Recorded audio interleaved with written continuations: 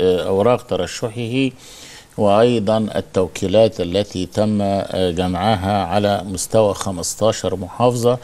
وبصرف النظر أن عددها كما تؤكد التقارير حوالي اللي تقدموا بيها آه. 200 ألف توكيل وجزء آخر لم يتم التقدم به عشان ما يشغلوش اللجنة في فحص كل هذه التوكيلات ويضيعوا وقتهم. المهم أن يكون يعني نموذج معبر عن رضا كثير من المواطنين لترشح سين أو صاد آه، للانتخابات الرئاسية أتمنى من زميل الدراسة الأستاذ حمدين صباحي وهو دفعتي أن آه. هو آه، ينجح في جمع ال 25 ألف توكيل و هو بيقال إن هم وصلوا ل 28 حسب نتمنى الوطن نتمنى آه. آه. نتمنى يكون كان بيقال 25 بيقال إن كان عنده مشاكل في مشاكل الصعيد مصر بالظبط في آه، الصعيد ما آه. عشان كده بأكد آه. إن يكون 25 ألف توكيل صحيح بالظبط لأن هناك توكيلات قد تكون خاطئة ودي كانت للأسف في التوكيلات.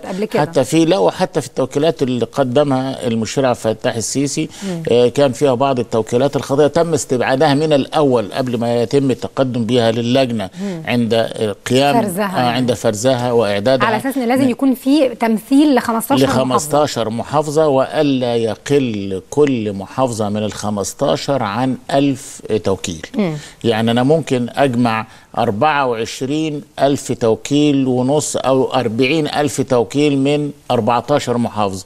لكن المحافظة ال 15 ما جبتش فيها الألف يعتبر هنا كل هذا العدد لا قيمة له ولا ينطبق عليه ال- القواعد والقانون. طبعا آه، نتمنى إن شاء الله إن التجربة اللي بتاعت الانتخابات الرئاسية تستكمل بشكل جيد ويكون هناك أكثر من مرشح حتى نسري عملية الانتخابات الديمقراطية والانتخابات الرئاسيه وبشكل آه، تجربة ديمقراطية رائعة. وأما إذا حدث وحدث إن آه، مرشح واحد هو الذي سيتمكن من تقديم التوكيلات اللي ينطبق اللي محددة طبقا للقانون فيجرى استفتاء أشبه أو انتخابات أشبه بالاستفتاء على الشخص طبقا اللي هو آه، منصوص عليه بشرط أن يحصل على 2 مليون ونص من الأصوات المؤيدة لانتخابه من ضمن إجمالي الذين لهم حق التصويت في الانتخابات وهو حوالي 52 مليون مواطن. بس إحنا نتمنى ان إحنا ما نصلش يعني لا. نصل إلى بالضبط. يعني هذه ال- الصورة إن شاء الله. طيب ننتقل إلى صدى البلد وعنوان يقرأ وزير الصناعة والتجارة إذا كان الفحم ملوثا فالبطالة أكثر تلويثا. قال منير فخري عبد النور وزير الصناعة والتجارة والاستثمار إن أحد الوزراء السابقين ذكر له جملة أصبح مؤمن بها وهي إذا كان الفحم ملوثا فالبطالة أكثر تلويثا ولذلك يعد استخدام الفحم في هذه الفترة مناسب لحل مشكلة الطاقة لافتا إلى أن الحكومة ستلجأ لاستخدام الحد الأدنى من الفحم وأضاف في ندوة بعنوان مستقبل مصر الاقتصادي آه، قائلا إن الفحم رغم أنه سيء السمعة الا أنه يعد من مصادر توليد الطاقة في البلدان الصناعية رغم تأثيره على البيئة. وهو بيستخدم بالفعل طبعا في أوروبا وبعض وفي الولايات المتحدة الأمريكية. زي ما حضرتك يا أستاذة ميسه اشرتي إن الفحم إحنا مش مش دولة لسه هنخترع استخدام الفحم في توليد الطاقة. نعم هو نسبة التلوث والانبعاث الحراري بالنسبة له عالية جداً. أكثر من أي وسائل أخرى وأكثرهم نظافة هو الغاز الطبيعي. نعم. لكن أنا قدام مشكلة دلوقتي وزي ما حضرتك أشرت في الخبر أنا عندي نسبة بطالة وعايز أشغل مصانع وشركات وخلافه تحتاج إلى طاقة والطاقة هنا الطاقة الكهربائية مولدة من مصادر متعددة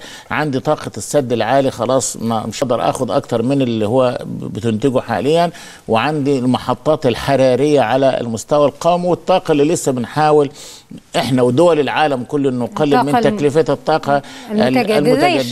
الشمسية نعم. أو الرياح وخلافه نعم. لأنها ما زالت لسه أعلى تكلفة يعني وكم ما تنتجه ما, ما يمثلش نسبة كبيرة أقدر أعتمد عليها في آه، استخدامات دوله ب- بكاملها يعني فالجزء الأساسي عندي إما محطات مائية أو محطات حرارية المحطات الحرارية عايزة وقود سواء غاز أو سولار أو مازوت أنا حاليا في وضع اقتصادي لا يسمح لي باستيراد ما تحتاجه هذه المحطات بالعملة الصعبة نعم. وبالتالي أنا دلوقتي م... وسبب انقطاع التيار الكهربائي إيه؟ إن عندي كم المحطات اللي موجودة دلوقتي لا تفي باحتياجات ال... ال... في عجز طبعا في آه. عجز موجود وأنا لا أستطيع أن أنشئ محطات جديدة تكلفة مالية عالية وهتاخد وقت.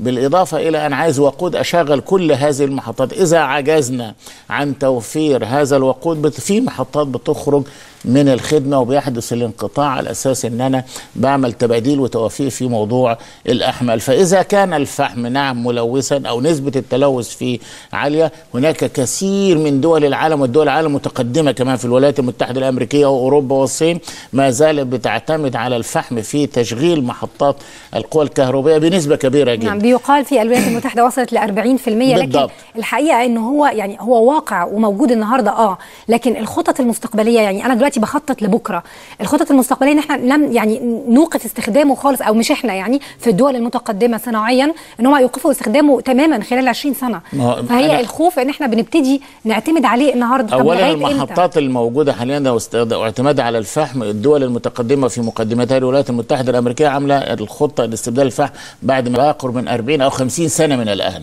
إنما لابد من الاستغناء عنه إنما آه. أنا دلوقتي أنا مضطر لأن أنا أجيب الفحم لأنه أقل تكلفة طبعاً. وأكثر إتاحة لي بالنسبة لاستيراده عشان أستخدمه في توليد الطاقة الكهربائية. لأن أنا ما عنديش فحم سوى في منطقة آه، منجم فحم المغارة في سيناء وهذه المنطقة أو هذا الكم مع رداءة نوعية الفحم لا تصلح لتشغيل سوى محطة صغيرة كهربائية. يعني مش كمية كبيرة أقدر استمع هو يعني يعني زي ما قلنا يمكن على الموضوع ده هو زي شر لابد, لابد منه، بالضبط. شر لابد نعم. منه طيب آه، أو الضرورات تبيح المحظورات إذا جاز برضو التعبير. بالظبط ممكن يعني يعني إحنا معترفين إنه في جانب نعم. يعني للأسف آه، آه، سلبي ولكن إحنا مضطرين في المرحلة دي إلى أن إن شاء الله تستقر الحاله الاقتصادية ونقدر نلجأ مرة تانية للطاقة بس البديل. إظلام أو بطالة كمان أو الاثنين مع بعض يعني إظلام لأن ما فيش طاقة كهربائية مولدة آه. آه. كافية وما عنديش وقود وبطالة على أساس وقف كثير من الشركات والمصانع لعدم توفر الطاقة الكهربائية لإدارتها. لا يعني مش عايزين السيناريو المظلم نعم. ده يعني نتمنى. طيب ننتقل إلى موقع صدى البلد. ترميم منازل الدبودية وبني هلال بتكلفة مليون جنيه مقدمة من الأوقاف. تفاصيل الخبر بتقول في جهود حثيثه وسريعة من محافظة أسوان عقب عودة الهدوء والاستقرار الأمني للمحافظة وخاصة لمنطقة السيل الريفي وخور عواضه التي شهدت الاشتباكات بين قبيلتي دبودية وبني هلال. خلال الأيام الماضية من الشهر الجاري والتي أسفرت عن مصرع 26 شخصا بجانب احتراق بعض المنازل بالمنطقتين.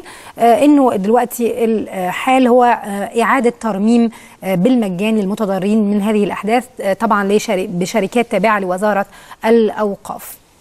نعم هي وسيلة للعلاج يا أستاذ ميس وسيلة لعلاج جزء من المشكلة آه. إن إذا كان هناك بعض المنازل قد احترق أو بعض أي خ- حاجات مالية دمرت مثلاً، آه. فيتم تعويض هؤلاء انما لابد أن نبحث عن جذور المشكلة صحيح. الموجودة ونزيل الأسباب التي أدت إلى أن يكون هناك مجزرة في أسوان بهذه الصورة لم تحدث في تاريخها على الإطلاق ده حقيقي. لأن طبيعة شعب هذه المحافظة مقارنة بكل محافظات مصر شعب طيب جدا وإذا حدثت حادثة قتل واحدة فيه على مدار العام تبقى حديث أسوان كلها إنما أن يكون هناك بقى جذور لمشاكل و... و... و... وتظهر نتائجها في هذا العراق ال... ال... طب. حضرتك شايف إن إيه أهم يعني سبب أدى إلى هذه الاشتباكات العنيفة الدموية.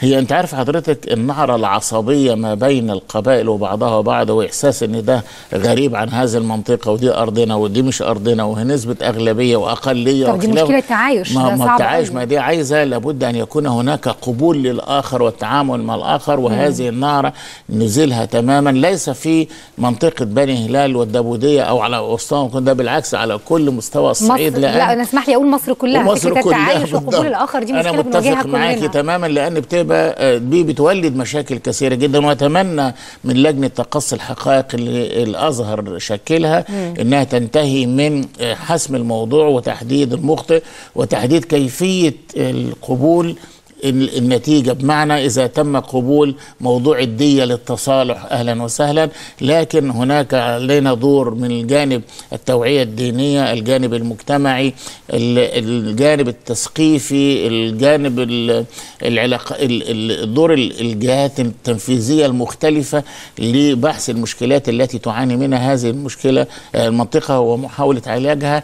المهم أن كل أجهزة الدولة تحاول أن تبحث عن الأسباب التي تؤدي إلى مثل هذه المشكلات سواء في منطقة السيل الريفي في أسوان التي تقم فيها قبيلة الدبودية وبني هلال أو بالنسبة لبقية المناطق الأخرى. وأتمنى إن شاء الله أن يحدث هذا بعد المرحلة المقبلة وتستقر الأوضاع ويكون هناك مؤسسات دولة ويكون هناك برلمان هدفه الأساسي أن يعمل على إزالة كل هذه المشكلات التي تؤدي إلى مثل هذه المشاكل التي يسقط فيها الكثيرون نعم. دون أسباب واضحة أو أسباب مش عايز أقول تافهه بسيطة ما توصلش لدرجة إنها تسقط هذا 26 ست- طبعا يعني بالضبط. حرام يعني وكان طبعا. من الممكن إن يزيد العدد لو ما تدخلتش كل الأجهزة المختصة ومحاوله حقن الدماء اللي موجودة ما بين الطرفين نعم طيب ننتقل إلى اليوم السابع وخبر عن الإسكان بدء تنفيذ 28 ألف وحدة ضمن مشروع الإسكان الاجتماعي كشف المهندس صلاح حسن رئيس الجهاز التنفيذي لمشروع الإسكان الاجتماعي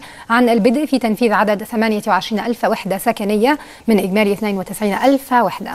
وده طبعا آه، كان آه، يعني آه، من ضمن من المشروعات أو المرحلة الثانية من مشروع الإسكان الاجتماعي. وأضاف أيضا المهندس صلاح حسن أن نسبة تنفيذ المرحلة الثانية من مشروع الإسكان تسير بشكل جيد ومنتظم ومن المقرر الانتهاء من تنفيذ 75 ألف وحدة سكنية خلال نهاية العام الجاري هو طبعا جهد مشكور من قبل الدولة خاصة بالنسبة لمستوى الإسكان الاجتماعي نقول متوسط التكلفة آه. أو قليل التكاليف لأن برضو عشان تبقى أسعاره في متناول الناس البسطاء الذين لا يستطيعون دفع آه، تكلفة مباني آه، تكون مستواها أعلى أو لا وبالذات إن فعلا يمكن الاتجاه اللي إحنا كنا شايفينه في الفترات يعني ما قبل الثورة إن دايما بناء الإسكان الفاخر. الفاخر اللي هو. الناس مش نعم. قادرة تشتريه أساسا نعم، بالضبط. وقاعدة مدن كتيرة بالضبط. جدا مش لاقي حد يشتريها وعشان كده يمكن المشروع الذي أعلن عنه منذ حوالي شهر بالاتفاق ما بين القوات المسلحة ودولة الإمارات العربية اللي بناء عليه سيتم في خلال خمس سنوات بناء ما يقرب من مليون. مليون وحدة سكنية على المستوى القومي وكما أعلم أن التكلفة بتاعتها السعر بتاعها أو مشاركة أو مساهمة من سيقيمون في هذه الوحدات التي تنشأ على مستوى كل المحافظات ستتحمل الدولة 40% من التكلفة والجزء الآخر 60% يدفع على المواطن. على الم... ال- ال- المقيم في هذه الوحدات نعم. وبالتقسيط على حوالي 20 سنة آه. بلا شك ده هيساهم بشكل كبير جدا في حل مشكلة الإسكان لأن أكيد. أحد ال- الوسائل الرئيسية لعلاج المشكلات المجتمعية في آه، مجتمعنا المصري هو أن يقيم الإنسان في مكان آه، محترم في مكان راقي في- يراعي فيه أدمية الإنسان دي يعني أقل حاجة ده حتى في بالضبط. الدستور المسكن الآمن يعني يكون في سقف كده فوق آه حتى نقضي على العشوائيات الكثيرة في أكثر من مكان اللي للأسف بتصدر لنا قنابل موقوتة من هذه العشوائيات لعدم الرعاية الصحية والمجتمعية والثقافية والدينية وكل دولة في علاج هذه الأسر البسيطة صحيح فإحنا سعداء بدوت يمكن كمان بنشيد بدور البنك المركزي وقراره إن هو. يدعم أيضا يعني آه، يعني الاقساط الوحدة. اللي على 20 سنة دي بالضبط. هتكون بدعم من البنك المركزي فإحنا برضو سعداء بال- بالشراكة ما بين كل جهات آه، الحكومية المختلفة علشان إن شاء الله نضمن نجاح هذا آه، المشروع. ننتقل إلى موقع الوطن وسفير إيطاليا بالقاهرة الذي يقول نتابع عن كثب ما يحدث في مصر. قال سفير إيطاليا بمصر ماوريتسيو ماساري أن بلاده تتابع عن كثب ما يحدث في مصر خلال هذه المرحلة معربا عن أمله في أن تتم مرحلة الانتخابات الرئاسية كما يتمناها الجميع. ده كان في مؤتمر صحفي عقده آه، مساري آه، مساء أمس بمناسبة قرب افتتاح المدرسة الدولية الإيطالية ليوناردو دافنشي